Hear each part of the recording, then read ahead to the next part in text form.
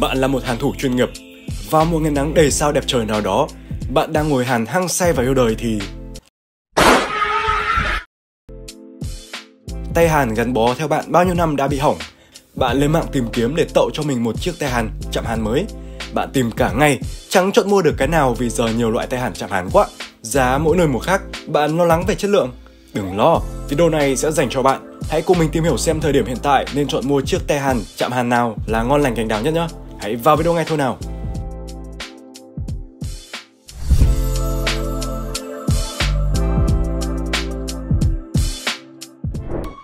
Loa loa loa loa Duy nhất tại bản linh kiện, Kể từ ngày hôm nay, khi bạn mua bộ chạm hàn C11 phiên bản 2023 bạn sẽ được tặng một phần quà ngẫu nhiên, bao gồm bóng đèn RGB 3W E27 39130 trị giá 250.000 Đèn RGB 6W E27 60120 trị giá 170.000 Đèn RGB 3W E27 506 trị giá 119.000 Đèn RGB 3W E27 60115 trị giá 59.000 Và cuối cùng là loa Bluetooth tích hợp LED RGB 12W vừa dùng làm loa Bluetooth vừa dùng làm đèn siêu hoạt luôn. Vì số lượng phần quà có hạn nên các bạn hãy nhanh tay đặt mua chạm hàn C11 2023 ngay thôi nào. Nếu bạn là người yêu thích sự nhỏ gọn, tiện lợi thì dòng tay hàn này là dành cho bạn. Đầu tiên là chiếc tay hàn giá rẻ nhất, lâu đời nhất, tay hàn C-Max C0016 60W 220V. Đây là chiếc tay hàn đời đầu được nhiều anh em dùng khi những chiếc tay hàn khác xịn sò hơn chưa phổ biến. Chỉ với 70.000 đồng, anh em đã có thể sở hữu được chiếc tay hàn này nên giá tiền quá rẻ đi đôi với tính năng và hiệu suất của chiếc tay hàn này khá là thấp. Nó đốt nóng theo kiểu vòng dây điện trở nhiệt, quấn xung quanh lõi đầu mũi hàn bằng kim loại, đem lại nhược điểm đó là hiệu suất lên nhiệt kém và không điều chỉnh được nhiệt độ. Dây sensor dễ chạm vào phần mũi hàn bằng kim loại gây dò điện nên nhiều bạn có phản ánh là dễ bị giật khi chạm vào mũi hàn. Việc dò điện này cũng sẽ ảnh hưởng tới một số linh kiện khi hàn. Công suất 60W dùng trực tiếp nguồn 220V nhưng hiệu năng thì không thể bằng được những chiếc tay hàn 60W khác. Bên ngoài mình thấy khá ổn nhưng cảm giác hơi to với tay cầm, không nhẹ nên cảm giác cầm nắm không được thích cho lắm. Nên chiếc tay hàn này sẽ phù hợp với những bạn không hàn quá nhiều, thi thoảng mới bỏ ra hàn hay không yêu cầu một chiếc tay hàn chuyên nghiệp thì chiếc tay hàn siêu rẻ này sẽ phù hợp với bạn. Chiếc tay hàn này cũng có sẵn linh kiện thay thế như đầu mũi hàn và sensor hàn nếu như tay hàn bị lỗi hỏng. Mình đánh giá chiếc tay hàn này 4 trên 10 điểm Đắt hơn một chút, chiếc tay hàn này có giá 119.000 đồng, từng hot một thời vì những tính năng và hiệu suất mà nó đem lại.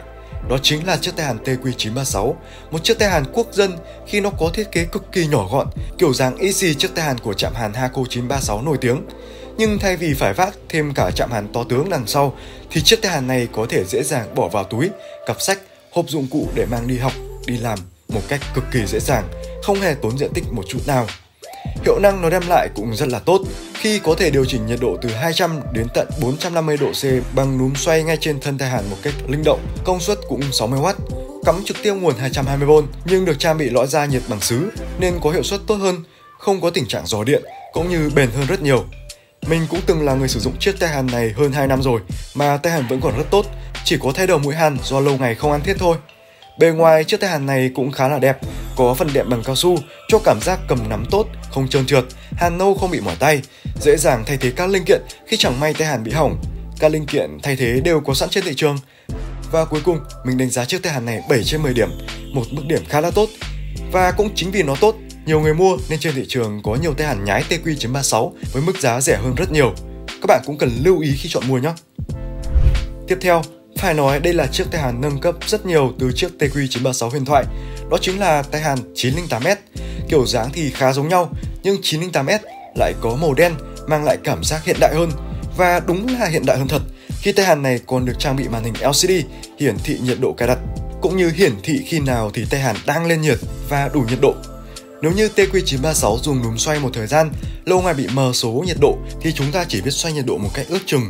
Thì với màn hình hiển thị nhiệt độ và nút nhấn điều chỉnh nhiệt độ hiện đại ngay trên thân tay hàn 908S như này sẽ giúp chúng ta điều chỉnh một cách chính xác hơn. Ngoài điểm cộng này ra, chúng ta sẽ có công suất tay hàn lớn hơn lên tới 80W nên hiệu suất của chiếc tay hàn này nhỉnh hơn TQ936 rất nhiều. Nó có giải điều chỉnh nhiệt độ rộng hơn từ 180 đến 480 độ C, gần 500 độ nên hàn các mối hàn to rất thích. Các ưu điểm còn lại thì vẫn như TQ936 khi nó cho cảm giác cầm nắm tốt. Linh kiện thay thế có sẵn, dễ dàng thay thế sửa chữa vì dùng cùng loại đầu mũi hàn 900M. Cuối cùng là về mức giá, nó có giá 180.000. Với những gì nó đem lại, mình thấy mức giá này rất đáng để bạn bỏ tiền ra mua hay nâng cấp tay hàn. Nó đem lại sự chuyên nghiệp hơn. Tóm lại, mình đánh giá chiếc tay hàn này ở mức 8 trên 10 điểm. Cũng xếp vào dòng tay hàn lâu đời, đó chính là NO907. Khi mới ra mắt, chiếc tay hàn này được rất nhiều người chọn mua vì nó là chiếc tay hàn đầu tiên có núm xoay điều chỉnh nhiệt độ ngay trên thân, mang lại sự tiện lợi chứ không cồng kềnh như những chiếc chạm hàn cùng thời. Nó có thiết kế đẹp với vỏ trong suốt, nhìn xuyên thấu các linh kiện bên trong. Nhưng mình không thích cảm giác cầm nắm trên tay hàn này. NO907 có công suất 60W, giải điều chỉnh nhiệt độ linh động từ 200 đến 450 độ C. Cũng được nhiều người đánh giá lên nhiệt là khá nhanh. Phần lõi ra nhiệt cũng được làm bằng sứ, đảm bảo hiệu suất. Nhưng nhiều bạn đánh giá là chiếc tay hàn này dễ bị chiếc sensor hàn. Cộng với mặc dù được ờ, ra mắt từ rất lâu, nhưng đến tận bây giờ thì chiếc tay hàn này vẫn không có điểm nâng cấp gì để vượt mặt các đối thủ khác. Với mức giá khá cao, 190.000 đồng, cao hơn hẳn tay hàn 908S 10.000 thì với mình tính năng và hiệu suất nó đem lại không hề bằng 908S. Nếu là mình, giữa hai chiếc tay hàn này, mình sẽ chọn 908S. Tóm lại, với bốn chiếc tay hàn này, nếu xét về hiệu năng và độ chuyên nghiệp, mình sẽ chọn 908S. Nhưng xét về sự cân bằng giữa hiệu năng và giá cả, mình sẽ chọn TQ936. Còn bạn vẫn ưu tiên mức giá rẻ thì nên chọn C-Max C0016. Nếu là bạn, bạn sẽ chọn tay hàn nào? Hãy comment xuống bên dưới nhé! Và sau đây là một phân khúc đem lại sự khác biệt hoàn toàn từ giá cả, tính năng cho đến hiệu năng, đó chính là dòng chạm hàn. Nếu như bạn muốn có một chạm hàn cố định chuyên nghiệp cho góc làm việc của bạn, hay bạn là thợ sửa chữa, hàn liên tục hàng ngày thì đây là dòng sản phẩm dành cho bạn. Phải kể đến đầu tiên đó là chạm hàn C11. Nói là chạm hàn, nhưng bộ sản phẩm này không hề cồng kềnh nếu bạn muốn mang nó đi làm hay đi học. Nó bao gồm nguồn 19V, tay hàn và chạm hàn. Nếu như những dòng tay hàn giá rẻ là nó sẽ làm nóng mũi hàn, nóng xuyên ngày đêm, xuyên ngày tháng. Nếu như bạn không giúp phích cắm hoặc ngắt điện thì với C11 có tính năng cài đặt thời gian chờ.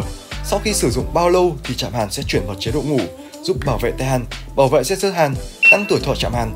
Hay đơn giản hơn là tránh cháy nổ khi bạn quên tắt chạm hàn và tiết kiệm điện. Chỉ cần tính năng này thôi là đã đủ để ăn đứt các loại tay hàn giá rẻ rồi. Ngoài ra, bật tắt hay điều chỉnh nhiệt độ dễ dàng tất cả đều chỉ bằng chiếc áp vô cấp trên chạm hàn này. Cùng với đó là tính năng cảnh báo khi không có tay hàn hay quá nhiệt tay hàn, giúp bạn sớm phát hiện lỗi trên tay hàn và kịp thời sửa chữa và khắc phục. Và không thể thiếu chính là màn hình LED 7 thanh hiển thị đầy đủ các chức năng cũng như các chế độ. Nguồn để cấp cho chiếc tay hàn này là từ 15 đến 24V 3A nhưng khuyên dùng ở nguồn 19V 3A. Và điều đặc biệt là sắp tới bên mình sẽ cho ra combo C11 có thể dùng pin để hàn. Đây là tính năng rất tuyệt vời đúng không nào? Nó giúp bạn không còn phải phụ thuộc vào nguồn điện 220V, thoải mái hàn mọi lúc mọi nơi. Các bạn hãy đón chờ video review nhé.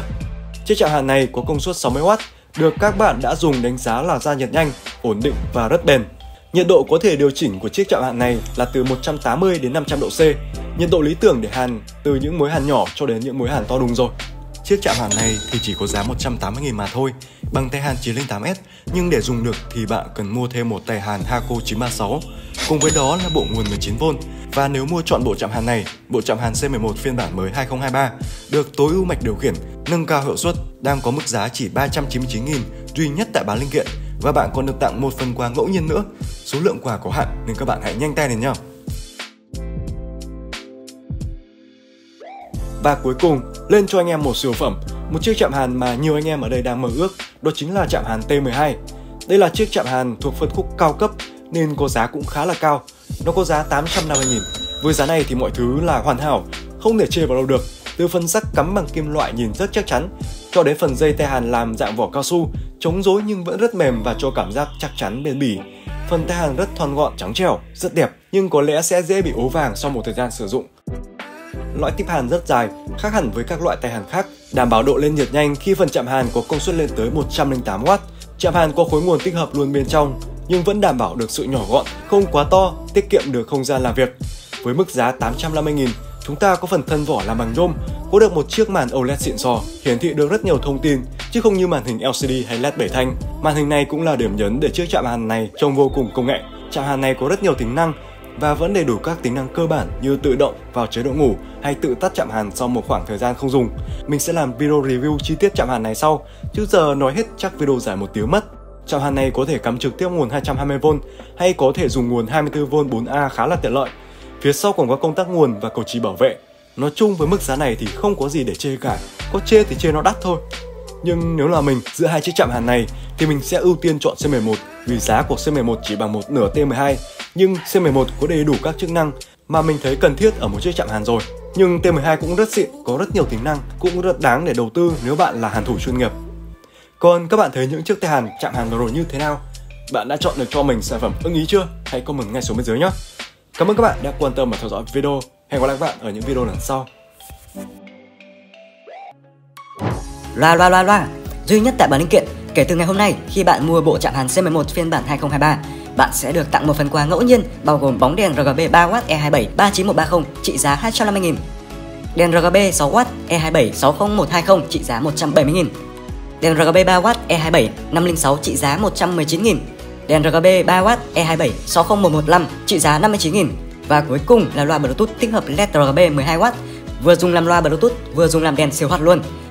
Vì số lượng phần quà có hạn nên các bạn hãy nhanh tay đặt mua chạm hàng C11 2023 ngay thôi nào.